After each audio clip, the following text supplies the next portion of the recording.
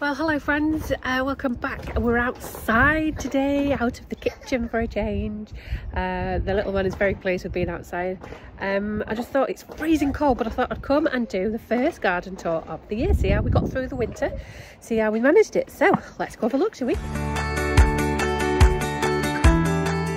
So the first glorious thing that meets me when I come outside uh, is are all of these beautiful um, bulbs coming up. So these are all these are ornamentals. So we've got some tulips and some oh muscari is it? I can't remember how you pronounce them. So they're lovely coming up. Um yeah so they're nice. And look at this look. My rhubarb is coming up. My friend dropped this off at the front door. She dug up a patch of hairs, a, a, bunch of hairs, separated it and split it for me, and it's actually starting to come up. I'm so excited. Uh, love rhubarb, love making um, barbecue sauce with rhubarb. Best barbecue sauce ever. Um, next up, we've got the trees. Little, this is my apple tree that didn't do a great deal last year, all little tiny ones, but it's starting to bud. We've pruned it back. And then my pear tree over there. Little girl. Pear tree over there. But the other thing to show you is there's a mess everything's blown over. But we've got three new trees. So they've got this is a new apple tree here. This little branch of nothing. Um, this is the pear tree. And just over there in that pot is a cherry tree. I'm so excited. I'll get to this bit in a minute. Just wait. Um, we've then got the garlic. So all of this all of it that and that and that and another one over there is garlic so i'm really pleased with that. I'm hoping these rudbeckias come back so they're going in the front herb garden. They're both rudbeckias i think. Um, so i'm hoping they come back. Let's go over to the beds then. So we start on the beds. I need to seriously get some more uh, gravel to top these bits up. It's all parted ways. Um, so we've got this bed which is just covered at the moment because um, I'm not ready to plant it yet and I don't want it to go loads and loads of weeds over the winter so we've got that covered up. This bed though woohoo! So we've got some broccoli ready not ready um, growing so this is winter broccoli I planted last year. And then we've got a cabbage there. We've got some little baby cabbages growing over and all the weeds I know. And some more broccoli. And these were the garlics that I obviously missed. So there's one there and there's one over there. I missed them because I've cleared this of garlic because they all went funny but obviously I didn't so this is the compost bin and this is going to be moved to here. This is where all my potatoes were. I've emptied all the sacks out of that. This is going to be cleared a bit and we're going to move this compost bin when we tip it out this year. I'm not going back in the same place. It's going to be going there so I've got easier access from all the rest of the garden to come over here. This is all the wind. Look, it's blown everything everywhere. I need to go around and tidy up. All of my fruit is doing well. I think we could probably do with trimming some of the um, uh, blueberries down a bit. They're on the left hand side there, and the raspberries are fine. But look, the honeyberries have got some um, leaves on them already. I love it. They're the first ones of the season. Love it. Um, another bed that has been covered just so that I can get a head start without having to weed everything. This is all the wind has blown it. We've had a 50 mile an hour winds most days. Absolutely ridiculous um, hence why again I literally come out the door and I'm just showing you what the state of the garden is. Um, this is all my onions. I planted a full bed of onions in the autumn last year because you can never have enough onions. It's as simple as that. Um, and then this is another bed. I've put compost on the top of this.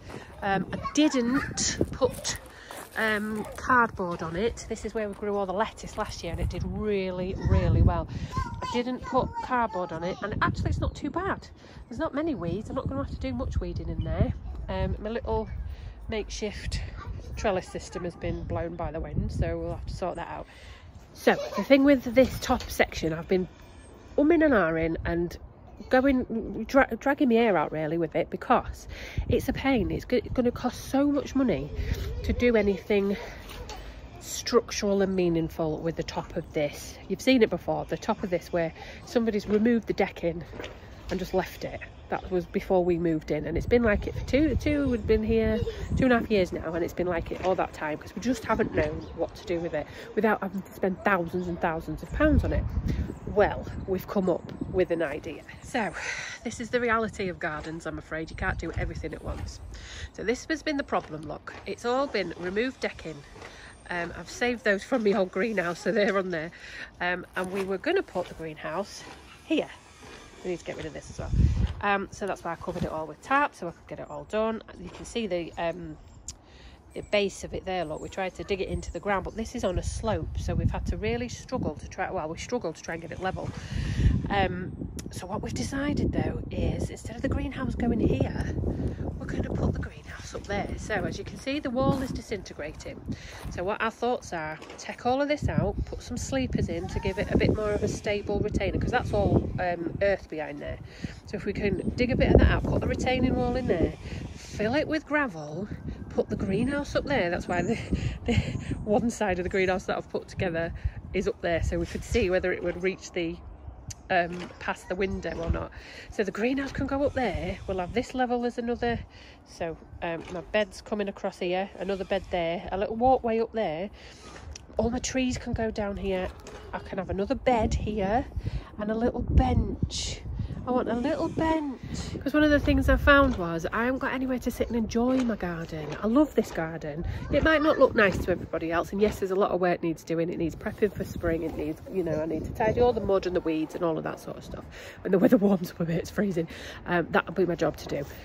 But I've got nowhere to sit and have a cup of tea in my garden. It's got to be up there on the on the level. And then all of these houses up here can see what I'm doing.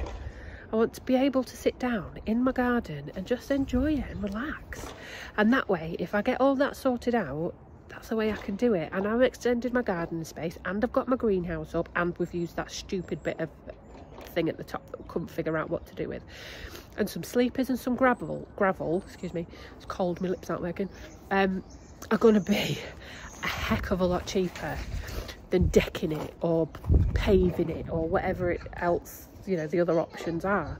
So it at least gets it used and it gets it um, functioning for us because that's at the end of the day what you want isn't it? You want a garden that you enjoy and that functions how you want it to function. So we lo I love being in the garden. I love being growing things so it makes a bit more sense to do that. And then I can have extra beds up there. Um, that's not a problem and then I've got a space down here to put pots. I've got all sorts of we've got space over there to sit we've got space up there to sit. So I think that's the plan. And at least it gets something done. Even if it doesn't work out perfectly and I change it next year at least it gets something done with it because I'm sick to death of the eyesore. I know what an eyesore it is. It's just a mess and I'm sick of it. So I think that's our plan to get something done. Oops are you all right love she's just running at the, the net on the trampoline and bouncing back. Um, but at least it gets something done with the garden, is what I was trying to say. Um, and it makes it look a bit better and a bit more pleasant to be in. Because I'm fine looking this way. This way looks lovely with all my beds, and especially when the green's all that. Look that way. Ooh, it looks a right mess. We'll see. So next we've got the strawberries. I've cut all these down, you see, because all the runners had gone mad, can you see? I cut all the dead leaves and all the, the growth and now all that's left there is the stuff that's the new growth for all of them. Um, I've pinned down a load of runners as well and some of them I've come into this bed, so I've cleared this bed because we're going to have the herb garden in the front. I've cleared a load of this bed and this bed and I'm just going to let these run and every time, one second, every time the runners come over I'm going to, you know, stake them down and then transplant them to this and then we can have one, two, three beds of strawberries because we really, really love strawberries. So there you go, that's our post-apocalyptic weather winter tour.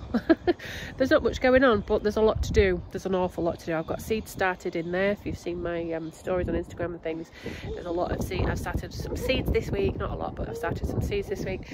But the work, once the weather, oh, it's so, so cold, my fingers are freezing.